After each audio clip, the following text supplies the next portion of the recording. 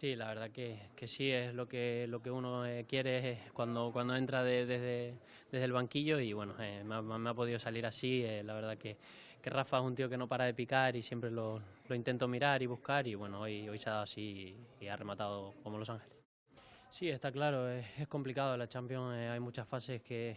que, te obliga a estar así, a estar atrás, a defender. Eh, ellos tienen un, un gran equipo y, y, un gran entrenador y te obligan, te meten atrás, pero bueno, eh, tienes que saber sufrir y sobre todo pues, pues tenerlas arriba y marcarlas, que, que es lo que hemos hecho. Exacto, eh, hay que ser conscientes que,